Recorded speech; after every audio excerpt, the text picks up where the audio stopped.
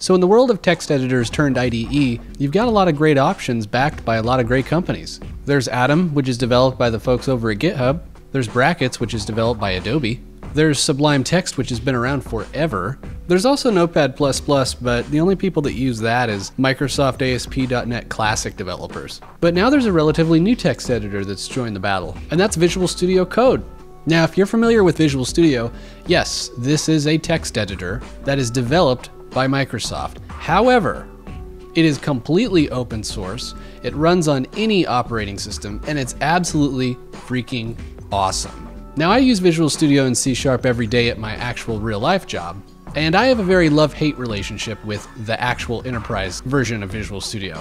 Visual Studio Code is nothing like Visual Studio, the actual IDE, at all. It looks very similar, and it has a lot of similar features like IntelliSense and some awesome debugging capabilities, but outside of that, they're not really similar. In fact, I think it's kind of silly that Microsoft called this Visual Studio Code, but people are familiar with the name Visual Studio, so I guess I can't blame them. So if you couldn't guess from the title of this video, we're going to install Visual Studio Code on Ubuntu 16.4. So it's not in the software repositories, you actually have to download it from Microsoft. So just Google Visual Studio Code or Google Visual Studio and go to products, and under top products, go to Visual Studio Code. And once you're there, there's a big old green button that says download, and Microsoft graciously placed Tux right in the center of the screen. Since we're running this on Ubuntu, you want to download the Debian file. At this point, I don't think Ubuntu even supports 32-bit, so go ahead and download the thing, save it to your file system, and open up a terminal and use dpkg to install it. Now, if you get an error message saying that it's missing dependencies, just do sudo apt install -f and that'll fix any broken dependencies that you have. And once it's installed, open up the dash and type in VS Code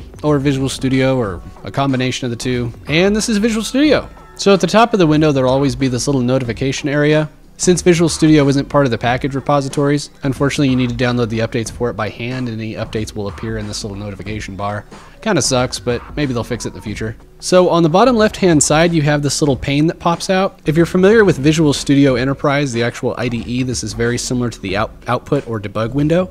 And over on the right hand side, there's a little search feature. And next to that are a couple controls which allow you to change the indentation, which is important for languages like Python, change the file encoding, and change the line in sequence. And of course, like any good text editor, you can change the language mode or file association. So in the event that you open up a file without an extension, you can just go ahead and change the language that you're looking at here. This is pretty standard across any text editor, I think. So just like Atom and Brackets, Visual Studio has fantastic support for plugins and extensions, though it doesn't have near the number of extensions that something like Atom or Sublime has. Since most of the work I do in Visual Studio Code involves JavaScript in some way, I like to install ESLint, which is a fantastic static analysis plugin. And I'm going to be using my website as an example of some of the things Visual Studio Code can do, so I'm going to install the Ember CLI plugin. And just like the other text editor, Visual Studio Code has a file and folder explorer. So in this case, I'm going to go ahead and open up the folder where my website lives. And you'll probably notice that a terminal popped up on the bottom. So this terminal is actually integrated into VS Code, and it's really, really freaking powerful. Text editors like Atom have this too, but I think that it's a separate plugin. It's not quite as powerful as this one. So Visual Studio has this built-in search feature that's super powerful and it's actually surprisingly quick. It's got built-in Git support, and I'll show you how that works here in a little bit. And it also has this insanely powerful built-in debugger.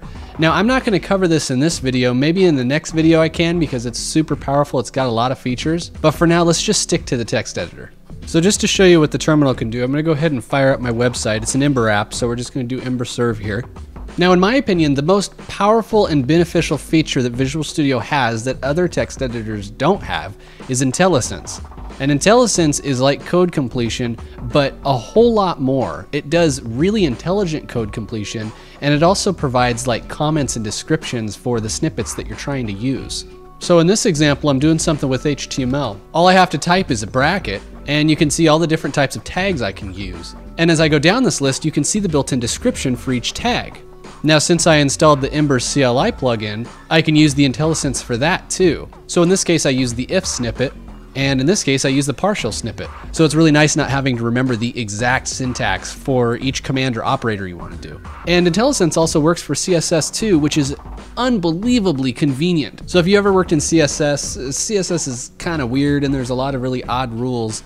And in this case, I'm using margin top, and as you can see from the description, there's different ways that you can use margin top. It is summarized here in the description. It's built into Visual Studio Code, and it's unbelievably awesome. And there's other things that are super nice, like the fact that the color code that I'm using here actually shows you a preview of the color that I'm using. So that's all IntelliSense and that's all built into Visual Studio Code. Now there's plugins that you can get for Brackets and Atom that provide this sort of functionality, but this is all built in and baked in to Visual Studio Code. These aren't extensions, except for the Ember CLI one, but everything else is just built into the text editor. And yet another feature of Visual Studio Code is when you set the rules that you want to use for a specific language. Like remember how earlier I used ESLint. So ESLint is a static analysis tool that analyzes your code to make sure that you're following best practices and standards. In this case, I want to make sure that I'm using single quotes instead of double quotes. And in this file, you'll notice that I'm using double quotes. So each quote is underlined, and I can tell the text editor to just fix all of those. And that extends to other more complicated JavaScript things too. So static analysis is kind of like its own topic, and I guess I could make a video for that at some point too. So the final thing I'm gonna cover in this video is VS Code's Git integration. So in this example, I'm gonna remove some old tests from my site that are no longer applicable. And I'll also remove some comments in a couple files, just so I've got a couple things to push into my Git repository. So here are my changes. I've removed two files and modified one. Shows here in this pane. You go to make a commit, it reminds you that you need to put a message in there. So I'll put my message in and we'll submit the commit. Notice my changes are gone and all I need to do from here is a push. We'll authenticate with Git and that's it. So my only critique of this feature is that I feel like a little more feedback would be nice, but I guess that's the nature of Git, so it's not necessarily a bad thing. But that's it. That will wrap up this Visual Studio Code video. If you liked the video, you want to see more, leave a like, leave a comment, and thanks for watching.